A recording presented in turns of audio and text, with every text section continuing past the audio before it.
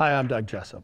It's my honor to provide 30 minutes of powerful, positive, and inspirational stories every Sunday at 10 a.m. on ABC4 and at jessopsjournal.com.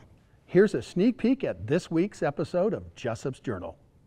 First up is a woman that has a very powerful story and, quite honestly, a powerful voice. And so, yes, of course, she is going to be our musical guest. I couldn't look into your crying eyes. I didn't want to see. I left, but I refused to say goodbye. Cause I couldn't believe it. I didn't know that I could feel like that. Life is never boring. And I am positive that comedian Shayne Smith is not boring.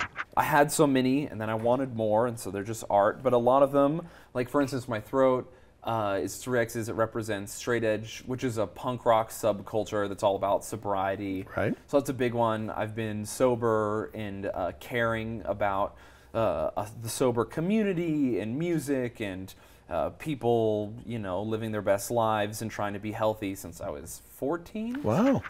I've had the opportunity to interview lots of inspirational experts over the years.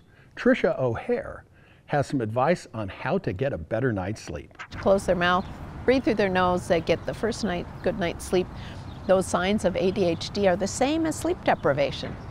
So if we can get the kids to breathe through their nose and close their mouth, in a day you can see a change in a child's behavior. Watch Jessop's Journal Sunday mornings at 10 on ABC4 and online at jessopsjournal.com.